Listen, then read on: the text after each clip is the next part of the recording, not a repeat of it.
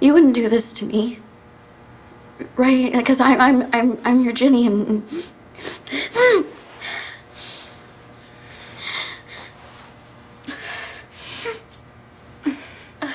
I'm I'm your Ginny.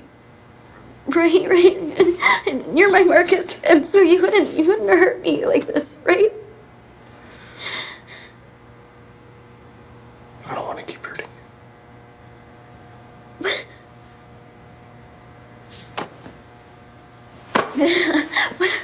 What is with this goddamn hallway? I.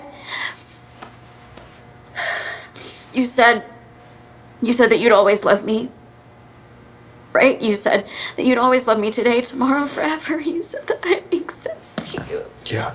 You said that. Those are things you said. I meant that. Then what changed? What changed? Just tell me what I did wrong and that. Please, just Oh, tell me. Jesus, nothing. You didn't do anything. It's it's me. I promise. You promise? You're making promises to me, Marcus? You know what? I hate promises. Because anyone who has ever made a promise to me has broken it because they're liars. You're supposed to be the one who doesn't lie to me. Do you even care that you're hurting me? Course I do. I just What?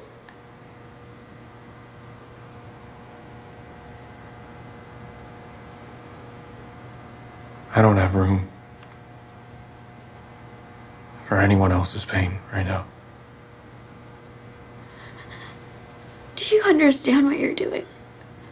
You're saying you're saying that, that you're okay with never holding me again, never kissing me. Just just done? Just Yeah.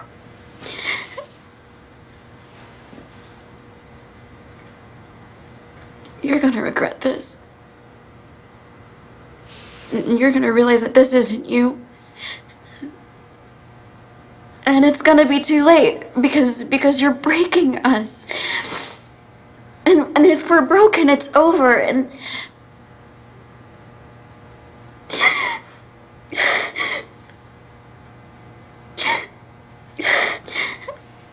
Please, please don't do this, Marcus. Please.